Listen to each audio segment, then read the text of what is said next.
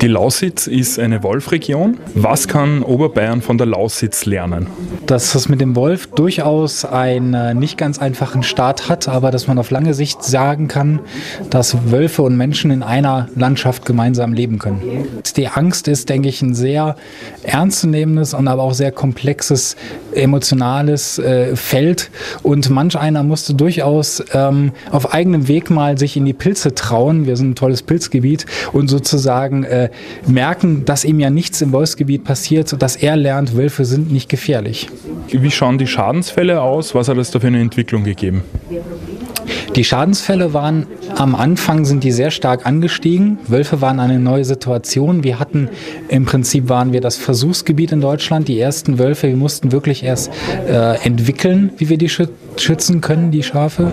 Äh, und dann mit der Zeit, mit gleichbleibenden Wolfzahlen, die wir jetzt seit drei Jahren haben, also einem überschaubaren Gebiet, sind wir nach und nach an alle Landwirte rangekommen, haben die Landwirten die Zäune zur Verfügung gestellt und damit die Schadzahlen ganz, ganz weit nach unten gebracht. Eine Ihrer Hauptaussagen in Ihrem Referat war, der Wolf braucht keine Wildnis. Was bedeutet das? Äh, das bedeutet, dass wir uns, was mir eigentlich am wichtigsten ist, dass man sich frei macht vor, dem, vor der Vorstellung, äh, der Wolf äh, kann nicht in Bayern leben, sondern der, wenn er nach Bayern kommt, dann wird er hier einen geeigneten Lebensraum finden, nämlich unsere Kulturlandschaft und er wird sich hier niederlassen. Das heißt, mit dieser Aussage verbinde ich, liebe Menschen, macht euch darauf bereit und stellt euch darauf ein und schaut, was wir für Erfahrungen mit dem Wolf haben, damit ihr nicht alle Fehler nochmal machen müsst. Was waren denn das für Fehler?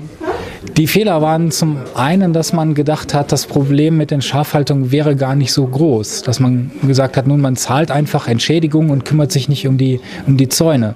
Das haben die Wölfe auch gemerkt, dass die Schafe eine, dann eine leichte Nahrung sind und dass man etwas tun muss. Die Schutzmaßnahmen kosten Geld. Äh, wie ist das vor allem für kleinere Betriebe machbar? Ähm, da in Sachsen Hauptbetriebe, Nebenerwerbsbetriebe, aber auch privat gehaltene Schafe ähm, diese Schutzmaßnahmen gefördert kriegen, ist die Größe des Betriebes gar nicht entscheidend, sondern es ist wichtig, dass man sich meldet und sagt, ich habe Schafe, ich bin im Wolfsgebiet, helft mir, ähm, diese Schafe zu schützen. Im Gebirge werden Zäune aber eher problematisch sein. Absolut. Ich muss klar sagen, ich komme, äh, die Lausitz ist ein flaches Land, aber ähm, es gibt den die Schutzmaßnahmen der Schutzhunde und die sind gerade in vielen Bergregionen Mitteleuropas äh, mit großen Erfolg werden die eingesetzt. Eine traditionelle Art und Weise, um Schafe vor Wölfen zu schützen. Wie schaut es mit den Jägern aus? Wie ist das Verhältnis zwischen Jagd und Wolf? Das ist durchaus auch geteilt. Ich würde aber sagen, die meisten Jäger, sie akzeptieren den Wolf. Sie freuen sich nicht, das ist sicherlich was anderes, aber sie akzeptieren den Wolf und stellen fest, Mensch, eigentlich ähm, gehört er ja zu unserer Wildbahn genau dazu. Und wenn ich genau schaue, muss ich eigentlich sagen, ohne Rehe ohne Wölfe hätte ich auch keine Rehe, weil wir haben eine gemeinsame Evolution und das Reh ist so ein graziles Fluchttier, weil der Wolf in der Evolution dafür gesorgt hat und das führt dazu, dass sie sagen, okay, und ich bin ja als Jäger vor allen Dingen auch Naturschützer und mich, mir ist der Erhalt der ganzen Natur wichtig. Was wird sich verändern, wenn wir ein Rudel in Oberbayern haben?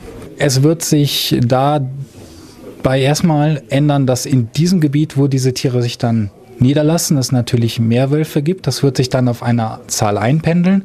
Es birgt aber auch den großen Vorteil, dass ich mich auf diese Wölfe sozusagen konzentrieren kann. Wenn ich diesen Elterntieren durch Herdenschutzmaßnahmen gezeigt habe, dass sie ihre Pfoten und ihre Zähne von den Nutztieren lassen müssen, dann übertragen sie das auch auf ihre Nachkommen. Und ich kann mir so ein relativ stabiles Gebilde, wie wir das gerade in der Lausitz haben, aufbauen.